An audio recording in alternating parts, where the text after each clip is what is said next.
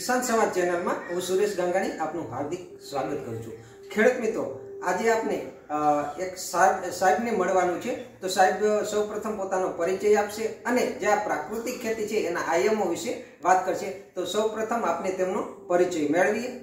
સાહેબ આપનો પરિચય આપો. મારું નામ પ્રદીપભાઈ વાડેર હું ex associate professor Junagadh agriculture યુનિવર્સિટીમાંથી બે હજાર ચૌદમાં નિવૃત્ત થયો છું અને ત્યાર પછી આ પ્રાકૃતિક જે ચળવળ છે તો એની સાથે ખેતી સાથે સંકળાયેલો છું અને એમની કામગીરી પણ ખેડૂતોને જે કંઈ જ્ઞાન આપવાની છે, તો તો સમજણ આપવાની છે, એના માટેના મારા પ્રયત્નો છે. સર, હવે આ જે પ્રાકૃતિક ખેતી છે, એમાં સરકાર ખૂબ પ્રયત્ન કરી રહી છે. અને એક એક જન આંદોલન રૂપે સરકાર એને પ્રોત્સાહન આપે અને ખેડૂત પણ હવે એમાં જોડાય છે. તો જે એના જે પાંચ આયામો છે અથવા તો જે બીજા અન્ય આયામો છે એના વિશે અમારે ખેડૂત મિત્રો પાંચ આયામો કરતા હું તમને એ કહું છું એટલે તમને મારા મિત્ર રમેશ સાવલિયા છે પાંચ આયામની વ્યવસ્થિત વાતો કરશે. પણ એનાથી ફાયદો શું છે? એ હું આપને વાતો કરું છું કે એક તો અત્યારે આ સંજોગોમાં આપણે જોઈએ છીએ કે શરીરના રોગો ઘણા બધા વધતા જાય છે અને એનું એક નિદાન એવું આવ્યું છે કે આ જે કેન્સર છે ડાયાબિટીસ છે બંધ્યત્વ છે, એ માત્ર ને માત્ર ખોર- ખોરાકના ડિસઓર્ડરને કારણે એ થાય છે. તો સમાજને જો સારો ખોરાક પૂરો પાડવો હોય, તો એને માટે જરૂરી છે પ્રાકૃતિક ખેતીનો આહારનો ઉપયોગ કરવાનો. તો લોકોને સમજણ પણ પડી ગઈ છે. અને એ, એ- રીતે આજે આજની જે તાતા તાતી જરૂરિયાત હોય, તો પહેલાં તો આપણા, આપણને સમૃદ્ધ આહાર પૂરો પાડવાની જરૂર છે. હવે આપણે ક્વોલિટી ઉપર જવાનું છે. ક્વોન્ટિટી ઉપર જવાનું નથી. એટલે આપણે ક્વોલિટેટિવ ફૂડ આપણા સમાજને મળે એ પ્રયત્ન કરવા જોઈએ. જેથી કરીને સમાજની અંદર જે આ રોગ પ્રવર્તમાન થાય છે અને સરકારને કરોડો ને અબજો રૂપિયા એના પાછળ બજેટ ખર્ચવું પડે છે. તો એ એ એ વસ્તુને ધ્યાનમાં રાખીને ખરેખર આપણા પોતાની કુટુંબના સંરક્ષણ માટે અને આપણા પોતાના વ્યક્તિગત સ્વાસ્થ્ય માટે આપણે તો આ પ્રાકૃતિક આહારની જરૂર પડશે અને પ્રાકૃતિક આહાર માટે પ્રાકૃતિક ખેતીની જરૂર પડશે. બીજી મહત્વની વાત તો અગત્યની વાત એ છે કે આપણે ખબર છે કે સદગુરુએ સેવ સોલ કીધી હતી. પણ સેવ ખાલી સેવ સોઇલ અથવા તો જમીન બચાવો એના, એવા નારાથી કંઈ જમીન બચવાની નથી, પણ એને માટે જબરજસ્ત પ્રયત્ન કરવા જરૂર પડશે. અને એને માટે જે સુભાષ પાલેકર સાહેબે જે આપણે થિયરી આપી છે, જે પ્રાકૃતિક ખેતી, ખેતીનો આખી પ્રોસેસ જે આપી છે, એ આપણે સમજવી જોઈએ. અને એ એ જરૂરી છે. તો એ પણ આપણે બીજા રમેશભાઈ સાવલિયા સાહેબ આપણે સમજાવશે. બીજી વસ્તુ એવી છે કે સેવ સોઇલ શા માટે આપણે કરવી જોઈએ. તો એનું કારણ છે કે એની અંદર જે આપણે ગાયના ગોબર અને આપણે ગૌમૂત્ર આપણે જે વાપરીએ છીએ, એની અંદર જબરજસ્ત તાકાત રહેલી છે. હું તમને એક સાદો સીધો વાત કરું તો આપણે જે પરંપરાગત ખેતી જે રાસાયણિક પ્રક્રિયા, ખેતી જે કરેલી અને એના કારણે આપણી જમીનની અંદર જબરજસ્ત નુકસાન થયું છે. તો નુકસાન થયું છે તો એ એ નુકસાન કઈ ટાઈપનું થયું છે? તો એનું એક જ કારણ છે કે જમીનની બધી જ પ્રોસેસને એ- અસર કરવામાં આવી. આપણા જમીનની અંદર તમે જોવા જાઓ ને તો એ જમીનની અંદર જે જૈવિક પ્રક્રિયા હતી જે જે જે જમીનની અંદર જે જીવાણુ હતા એ ધીમે ધીમે એનો નાશ પામવા માંડ્યો. જીવાણુઓ શું કરશે? તો કે જીવાણુઓ જમીનની અંદર રહેલા જે મૂળ બંધાયેલા જે તત્વો છે, જે મિનરલ્સ છે, જે ખનિજ તત્વો છે, જે આપણા શરીરની અંદર જરૂર છે, તો એ બધા ખનિજ તત્વો એ પ્રક્રિયા કરીને છોડને લભ્ય બનાવશે. અને એ જો પ્રક્રિયા જમીનની અંદર થાય તો એ થાય. તો એને આ આ પ્રક્રિયાથી આપને ખબર છે કે એક ગો- ગાયના ગોબરની અંદર એક ગ્રામ ગોબર હોય તો એની અંદર ત્રણસો કરોડ જીવાણુ હોય છે એક ગ્રામની અંદર. અને આપણી જમીનની અંદર જોવા જાવ, તો આપણી જમીનની અંદર પહેલાં આપણા બાપદાદા જ્યારે ખેતી કરતા હતા, ત્યારે એક ગ્રામની અંદર દસ કરોડ જીવાણુ હતા. અને એમનો ઓર્ગેનિક કાર્બન છે એ બે ઉપર હતો. હવે ધીમે ધીમે આપણે આ જે પ્રોસેસ કરી, રાસાયણિક ખેતીની, અને એને પરિણામે આપણા જમીનના જે જીવાણુઓ છે એ એક કરોડથી ઓછા એટલે અથવા તો લગભગ પાંત્રીસ, ચાલીસ લાખની આસપાસ થયા.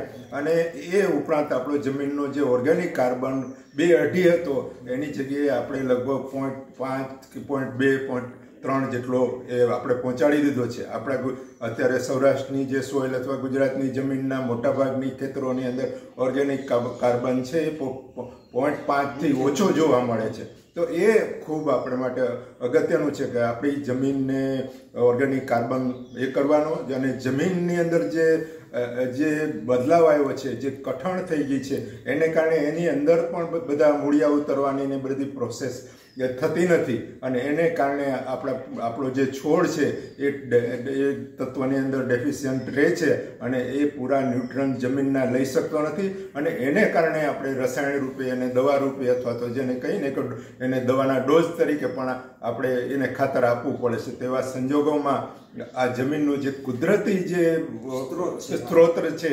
એ સ્ત્રોત એ સપ્લાય થતો નથી. અને એને કારણે આપણા આપણો જે એનું પ્રોડક્ટ છે અથવા એનું ઉત્પાદન છે, એ બધા ન્યુટ્રનથી ખામીવાળું હોય છે ને એ ઓટોમેટિક આપણની અંદર, આપણા શરીરની અંદર પણ ખામી ઊભી થાય છે અને પરિણામે આપણું સ્વાસ્થ્ય બગડે છે. તો પહેલાં તો સેવ સોઇલ છે, આપણે જમીન બચાવો એ અગત્યનું છે, કારણ કે આપણી જમીન ભરભરી બનવી પડશે. આપણી જમીનની જે હું તમને એક સાયન્ટિફિક ભાષામાં કહું કે ફિઝિકલ કેમિકલ ફિઝિકલ કેમિકલ અને બાયોલોજીકલ બરાબર જમીનનું બાંધો હોવો જોઈએ.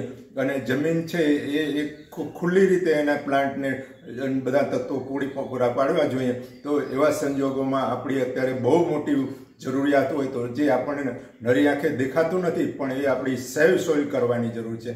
તો એવા સંજોગોમાં માત્ર ને માત્ર જે આ સેવ સોઇલ છે, એ પણ કારણ કે જમીનની અંદર અળસિયાની પ્રવૃત્તિ બરાબર હોવી જોઈએ, જમીનની અંદર વ્યવસ્થિત ફૂગ હોવી જોઈએ જમીનની અંદર બરાબર એના જીવાણુઓની પ્રોસેસ ચાલવી જોઈએ અને એ જ, એ બધી પ્રોસેસો કરવા માટે બહુ જરૂરિયાત છે, એ પ્રાકૃતિક ખેતી છે. એનાથી કોઈ પણ જાતનું ખેડૂતને નુકસાન થતું માત્ર આપણી માનસિકતા બદલવાની જરૂર છે. અને ત્રીજી વસ્તુ એ છે કે સમાજની અંદર ગાય બચાવો. ગાય બચાવો માત્ર એને ગાય બચાવવાના નારાથી ગાય બચશે નહીં. પરંતુ એને માટે જરૂરી છે એનું આર્થિક પાસું પણ આપણે જોવું જોઈએ અને એની આર્થિક, એની ઉપયોગિતા ઉપયોગિતા કહી શકીએ તો ઉપયોગિતા આપણે એ કરવી જોઈએ. તેવા સંજોગોમાં આપણે ગાય બચાવવા માટે માત્ર ને માત્ર કોઈ પણ એક હથિયાર હોય તો એ પ્રાકૃતિક ખેતી છે. ત્રીજી વસ્તુ છે, આપણે જોઈએ છીએ કે ક્લાઇમેટ ચેન્જ વાતાવરણને બદલાવ આમ આમ પ્રતિકૂળ એટલો બધો થઈ ગયો છે. ગમે ત્યારે વરસાદ થાય, ગમે ત્યારે વાવાઝોડું થાય, ગમે ત્યારે અત્યારે ટેમ્પરેચર પણ જેમ એટલું બધું આપણું ઉષ્ણતામાન પણ ખૂબ વધી રહ્યું છે. તો એવા સંજોગોમાં જો કોઈ બચાવવા માટેની જો કોઈ ઇન્સ્ટ્રુમેન્ટ હોય અથવા તો એ માત્ર ને માત્ર આ ખેડૂત જ એને બચાવી શકશે અને એ માત્ર ને માત્ર પ્રાકૃતિક ખેતી કરીને બતાવ બચાવી શકે. બીજું કે અત્યારે આપણે જોવા જઈએ કે આ દેશનું હુંડિયામણ છે જબરજસ્ત રીતે આ દવાઓ ખાતરો પાછળ વપરાય છે તેવા સંજોગોમાં જો આપણે આ બધી કરશું તો દેશનું કિંમતી હુંડી હુંડિયામણ બચાવી શકશો અને સમાજના વિકાસ માટે હુંડિયામણ આપણને ઉપયોગી થઈ શકશે. તો આવા સંજોગોમાં ખેડૂતનો પણ આપણે જોવા જઈએ તો અત્યારે ખેડૂત દેવાદાર બન્યો છે. કારણ કે એમને જેટલું વળતર મળવું જોઈએ, એ વળતર મળતું નથી અને એની સામે ખર્ચાઓ ખૂબ વધી રહ્યા છે. કેમિકલ પાછળના, લેબર પાછળના એ બધા ખર્ચાઓ વધી રહ્યા છે અને ખેડૂતને જેટલું ખર્ચે છે એટલું વળતર ના મળવાથી ખેડૂત પણ એ ખોટમાં જઈ રહ્યો છે. તો આવા સંજોગોમાં ખેડૂત બચાવવા માટે પણ આ આ આ પ્રાકૃતિક ખેતીનું જન આંદોલન સમાજની અંદર ખૂબ જ જરૂર છે અને આવા સંજોગોમાં આપણે ખરેખર બીજા ઘણા બધા આયામો છે પણ આપણે અહીંયા સમય મર્યાદાને કારણે આપણે વાતને પૂરી કરીએ, વિરામ કરીએ. અને મીડિયાએ જે મારો ઇન્ટરવ્યૂ લીધો છે તે બદલ આપણો ખૂબ ખૂબ આભાર છે. આપના થ્રુ આ જે સમાજની અંદર વાત જવી જોઈએ, વધુમાં વધુ ખેડૂતો આની અંદર જોડાય અને સમાજનું સ્વાસ્થ્ય જમીનનું સ્વાસ્થ્ય ક્લાય વાતાવરણનું સ્વાસ્થ્ય અને સમાજનું સ્વાસ્થ્ય આપણે ઊભું થાય એવા ખરેખર આપણે સૌએ સાથે મળીને જરૂરી છે કે આપણે આ પ્રયત્નોને, આ આંદોલનને આપણે ખૂબ વેગવંતો બનાવીએ એ જ મારી એક અંદરની ઈચ્છાઓ છે. નમસ્કાર આભાર સાહેબ આપનો. સાહેબનું ટૂંકમાં જો વાત કરીએ તો સાહેબનું કેવું છે કે આ જે આપના જે પહેલા ભારત હતું અને સોનિયાનો જે સોનિયા કા જીવિયા કા દેશ કહેવાતો જે પ્રકૃતિ હતી એ એનું કામ કરતી હતી. પણ અતિરેક રાસાયણિક ખાતર જંતુનાશક દવા અને નિંદામણનાશક દવાનો જે ઉપયોગ થવાથી જમીન બિન ઉપજાઉ બની છે વાતાવરણમાં ફેરફાર થયો છે અને આ જે જમીનની અંદરથી જે કંઈ ઉત્પાદન થાય છે એ ઉત્પાદન જે માણસો ખાય છે, એના આરોગ્યને પણ અસર થાય છે. તો આ બધાને જો સુધારવું હોય ક્લાઇમેટ ચેન્જને સુધારવું હોય, જમીનને સુધારવી હોય, માનવ આરોગ્ય સુધારવું હોય, પશુ પક્ષીઓને સુધારવા હોય, પર્યાવરણને જો સુધારવું હોય તો આનો એક જ ઈલાજ છે, માત્ર પ્રાકૃતિક ખેતી. અને જો પ્રાકૃતિક ખેતી થશે, તો જ આ દેશ થોડોક આગળ વધશે. અને જે પહેલા સોનિયા જે સોનિયા કી ચીડિયા કા દેશ કહેવાતો, એ કહેવાશે. તો દરેક ખેડૂત મિત્રોએ પ્રાકૃતિક ખેતીનો એક જે અભિયાન છે, એમાં સહયોગ આપવો જોઈએ. અને એક જે વીઘા છે, શરૂઆત એક વીઘાથી પણ કરવી જોઈએ એવું બધાનું માનવું છે. તો ખેડૂત મિત્રો કિસાન સમાજ ચેનલને લાઈક કરજો શેર કરજો અને સબસ્ક્રાઇબ કરજો.